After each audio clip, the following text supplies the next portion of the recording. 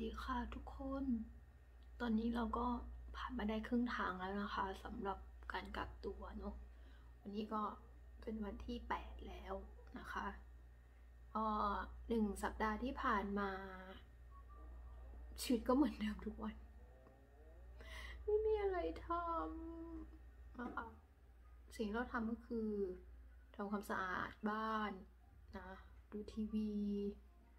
ซักผ้า อืม ดู YouTube ทำกับข้าว มีแค่นี้แหละ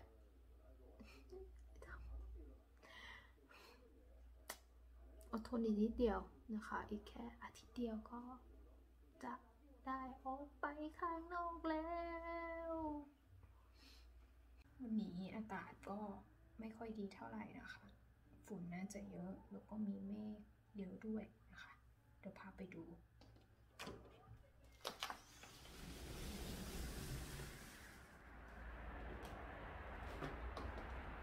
เห็นไหมทุกคนอากาศไม่ค่อยดี แล้วก็หนาวด้วย เมื่อวาน 10 กว่าองศานะค่ะแต่ว่าวันนี้ลดเหลือประมาณ 5 องศาแล้ว